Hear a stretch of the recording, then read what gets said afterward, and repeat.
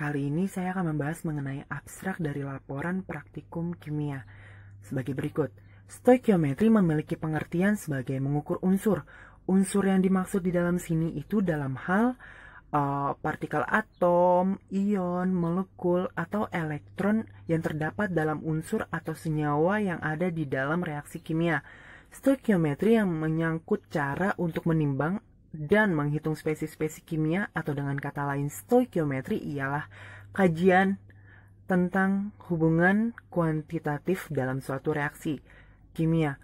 Tujuan dari percobaan yang akan kita lakukan ialah uh, sebagai penentu penentu hasil reaksi kimia dari percobaan. Selain itu, agar praktikan dengan mudah menuliskan rumus dari suatu reaksi senyawa atau reaksi serta mempelajari stoikiometrinya. Kata kunci dari abstrak ini adalah reaksi, stoikiometri, dan unsur. Stoikiometri reaksi kimia. Nah, stoikiometri yaitu suatu aspek dalam ilmu kimia yang mempelajari data-data kuantitatif. Nah, data-data kuantitatif ini berwujudkan angka-angka yang mempresentasikan keadaan keadaan dalam suatu reaksi kimia. Stoikiometri juga ilmu yang sangat penting bagi ilmu kimia. Kenapa? Karena diterapkannya ilmu stoikiometri ini di dalam penelitian, aspek-aspek kuantitatif dari suatu reaksi kimia dapat dikaji dan dilakukan secara tepat dan akurat. Reaksi kimia juga telah mempengaruhi kehidupan sehari-hari kita. Contohnya, saat kita makan, makanan yang kita konsumsi ini dapat dicerna dengan baik oleh tubuh sehingga tubuh dapat menghasilkan energi. Nah, tujuannya yaitu menentukan koefisien reaksi berdasarkan pembentukan endapan dan perubahan temperatur. Selain itu, menentukan hasil reaksi berdasarkan konsep mol. Kali ini saya akan membahas mengenai teori dasar stoikiometri. Berikut merupakan teori dasar dari stoikiometri. Perbandingan stoikiometri reaksi-reaksi sangat penting dalam mengamati keberlangsungan suatu reaksi kimia.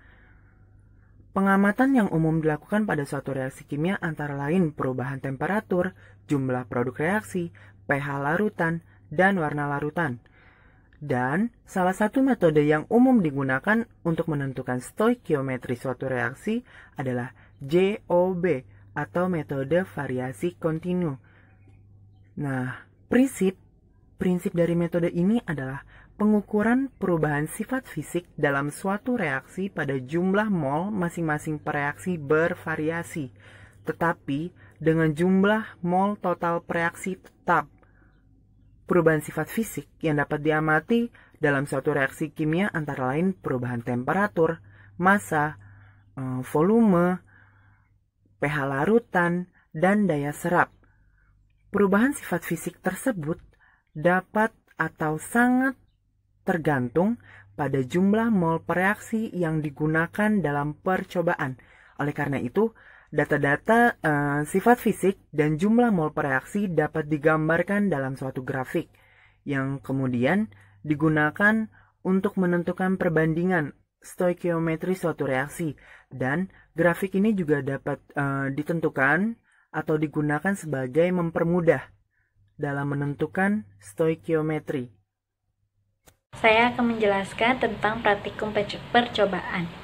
Pertama, siapkan alat yaitu neraca analisis, gelas ukur 50 ml, gelas kimia 50 atau 100 ml, dan termometer. Selanjutnya, siapkan bahan. Pertama, larutan timbal 2 asetat 0,1 molar. Kemudian, larutan kalium iodida 0,1 molar larutan natrium hidroksida 1 molar, larutan HCl 1 molar, larutan H2SO4 1 molar, larutan tembaga 2 sulfat 1 molar, molar dan larutan natrium hidroksida 2 molar. Selanjutnya ada prosedur praktikan. Yang pertama, menggunakan jas berlengan panjang dan warnanya bebas. Bawahannya menutupi kaki kalau misalnya pakai celana celana panjang. Kalau misalnya pakai rok rok panjang. Terus menggunakan sarung tangan sekali pakai. Kaki tertutup menggunakan sepatu tertutup dan kaos kaki. Perut sudah terisi. Sebelum masuk ke laboratorium harus makan terlebih dahulu. Karena di laboratorium tidak boleh makan dan minum. Menyiapkan menyiapkan buku praktikum, menyiapkan buku praktikum dan e, laporan terdahulu dan merekam kegiatan praktikum. Prosedur reaksi larutan. Acara 1, reaksi larutan timbal 2 asetat dan kalium iodida. Pertama, satu buah tabung reaksi kosong dimasukkan ke dalam gelas kimia 100 ml. Kemudian letakkan di atas neraca analitis dan nolkan. Yang kedua, isi tabung reaksi dengan 2 ml larutan timbal 2 asetat 0,1 molar. Kemudian catat beratnya. Dengan catatan tabung reaksi tetap di atas neraca. Ketiga, lakukan hal yang sama seperti tahap 1. Kemudian tabung reaksi diisi dengan 2 mili larutan kalium iodida 0,1 molar. Dan kemudian catat beratnya. 4. Larutan timbal 2 asetat dituangkan ke dalam tabung reaksi yang berisi larutan kalium iodida. Dengan tabung reaksi tetap berada di atas neraca analitis. Kelima, catat perubahan berat hasil reaksi. Amati, apakah ada perubahan berat setelah penambahan timbal 2 asetat ke dalam larutan kalium iodida? Apakah berat larutan campuran lebih besar dari jumlah total berat larutan timbal 2 asetat dan kalium iodida sebelum direaksikan? Jika ada, maka hitung berat produk reaksi hasil percobaan dengan cara berat produk percobaan sama dengan berat larutan campuran dikurang berat larutan timbal 2 asetat 0,1 molar ditambah berat larutan kalium iodida 0,1 molar. Lalu keenam, hitung berat teoritis produk reaksi dari reaksi 2 mili timbal 2 asetat 0,1 molar dan larutan kalium iodida. Kemudian, hitung persen tase hasil dengan menggunakan rumus di pendahuluan. Acara 2, reaksi larutan tembaga 2 sulfat dan natrium hidroksida.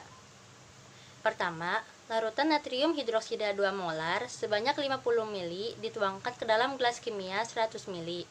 Kemudian, ukur temperaturnya. Kedua, larutan tembaga 2 sulfat 1 molar sebanyak 10 ml dituangkan ke dalam gelas kimia 50 ml. Kemudian, ukur temperaturnya. Ketiga, larutan tembaga 2 sulfat 1 molar kemudian dituangkan ke dalam larutan natrium hidroksida 2 molar sambil diaduk dan ukur temperatur larutan campurannya. Keempat, ulangi tahap 1 sampai 3 dengan komposisi larutan sebagai berikut. Kelima, buat grafik T atau perubahan temperatur terhadap volume natrium hidroksida dengan T sama dengan TA min TM dengan TM merupakan suhu campuran dan TA merupakan suhu awal setiap larutan. Acara 3, reaksi asam basa. Pertama, larutan natrium hidroksida 2 molar sebanyak 5 ml dituangkan ke dalam gelas kimia 50 ml. Kemudian ukur suhunya. Kedua, larutan asam klorida 1 molar sebanyak 25 ml dituangkan ke dalam gelas kimia 50 ml Kemudian, ukur temperaturnya. Ketiga, larutan natrium hidroksida 2 molar kemudian dituangkan ke dalam larutan asam klorida 1 molar sambil diaduk dan ukur temperatur larutan campurannya. Keempat, ulangi tahap 1 sampai 3 dengan komposisi larutan sebagai berikut. Kelima, buat grafik T atau perubahan temperatur terhadap volume natrium hidroksida atau asam klorida dengan T sama dengan TA min TM. Keenam, lakukan percobaan seperti di atas untuk sistem natrium hidroksida 1 molar dan asam sulfat 1 molar. Saya di sini akan menjelaskan tentang hasil pengamatan dan pembahasan untuk acara pertama yaitu reaksi larutan PbC2H3O2 dua kali dan KI untuk PbC2H3O2 dua kali memiliki densitas sebesar 3,25 gram per cm kubik. Sehingga masanya dapat dihitung dengan rumus rho sama dengan M per V maka massa yang didapat sebesar 6,5 gram. Selanjutnya ada KI dengan densitas 3,23 gram per cm kubik. Sehingga massa KI dapat dihitung dengan rumus yang sama yaitu Rho sama dengan M per V. Maka menghasilkan massa sebesar 6,46 gram. Lalu Pb CH3COOH 2 kali 0,1 molar dalam 2 mili adalah 0,2 milimolar dan Ki 0,1 molar dalam 2 mili adalah 0,2 milimolar dengan AR H sama dengan 1, C12, O16 dan I 127 dan Pb 207 dengan memberikan asumsi bahwa proses berlangsung sempurna dengan Ki sebagai reaksi pembatas. Dapat dilihat pada tabel berikut. Lalu perhitungan presentase. Mula-mula menghitung reaktan awal yaitu 0,065 ditambah 0,0332 sama dengan 0,0982. Kemudian menjumlahkan produk yaitu 0,0461 ditambah 0,0196 sama dengan 0,657 maka presentase produk dengan menggunakan rumus presentase produk sama dengan produk per reaktan dikali 100 lalu masukkan 0,6,57 per 0,0982 dikali 100 maka presentase produk yang didapat sebesar 66,9% lalu ada ada cara dua yaitu reaksi larutan CuSO4 dan NaOH yang dapat dilihat pada tabel berikut serta grafiknya. Ke acara 3 yaitu reaksi asam basa dapat dilihat tabel dan grafik berikut.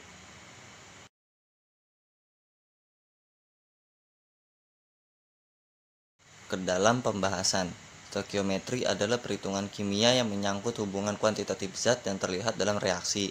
Reaksi stokiometri adalah suatu reaksi kimia di mana reaksi dalam reaksi tersebut habis bereaksi sehingga tidak ada mol dalam reaksi atau tidak ada reaksi pembatas. Dalam satu reaksi juga terdapat reaksi eksoterm dan endoterm.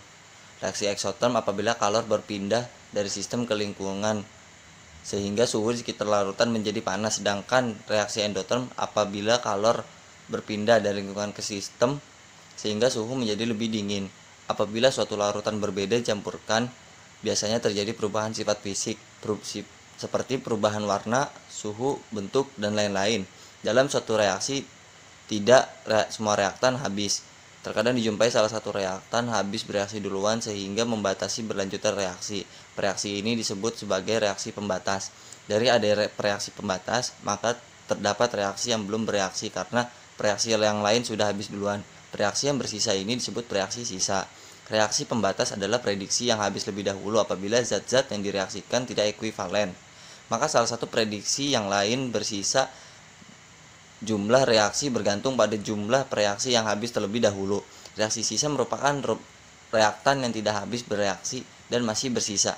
Hubungan antara suhu dan reaksi stokiometri adalah suhu akan mencapai titik maksimum atau nilai maksimum bila reaksi tersebut reaksi stokiometri.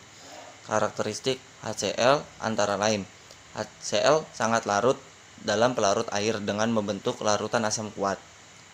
ACL adalah asam monoprotik yang berarti bahwa ia dapat berdiodosiasi melepaskan satu hanya sekali.